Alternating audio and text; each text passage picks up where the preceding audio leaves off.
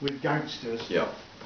and the actual charting of On My Radio. What was that period like? Was it all going mad and trying to get this band together and Yeah, this was, and that? it, it, it was very, very exciting to, to see, because, I mean, I, you kind of knew that it was a good record. Gangsters was so good that, you, and, and I'd, you know, I'd gone to a lot of their gigs because I hadn't uh, got a band myself, I I especially when the record came out.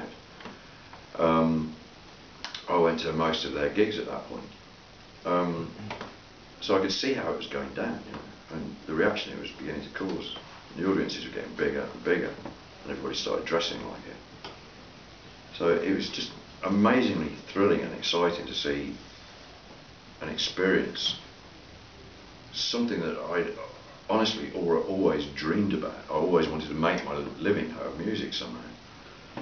Um, and to be really honest, uh, by the time I, I, this, I was 27 years old at that point, and uh, you know most pop music then and now even more so is very young, and it's I thought 25, 26, I was kind of I kind of missed it Oh, right, yeah. kind of missed it. Well, just, what am I going to do? You know, it's like uh, really should have been there already by now. Um, you know, I don't mean that in an arrogant way. It's just something I wanted to try and achieve, and I hadn't done it at that point. Yeah. I tried very hard in lots of bands, and, blah, blah, blah.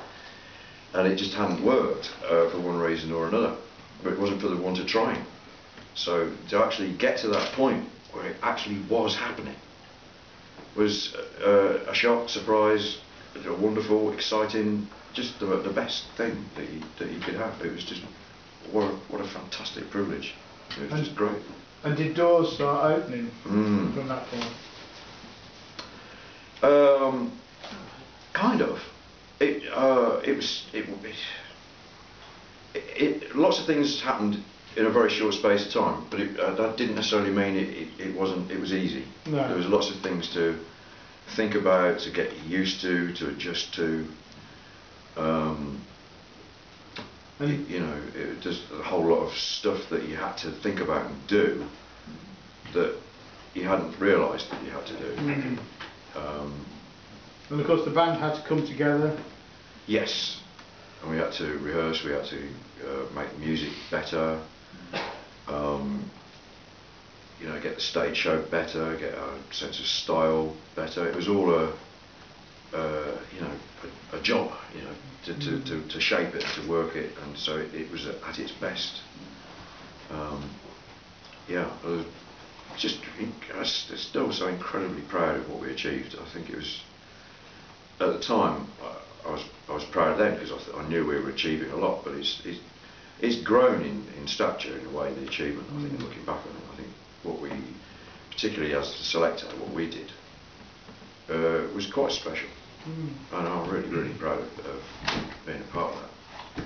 Well, absolutely. I mean, we, I think it shaped a lot of people's lives sat here today as well. And uh, obviously, uh, even like the mighty, mighty Bosstones. Uh, don't worry, Desmond Dekker's doing fine, and the so, Selecter gets mentioned on that record, you know. And that's a, that's a, a Boston band over there Yeah. in America. Yeah, that's yeah. the influence. Yeah. But so it must be an absolutely proud moment to, to think back on all the stuff that the Selecters achieved.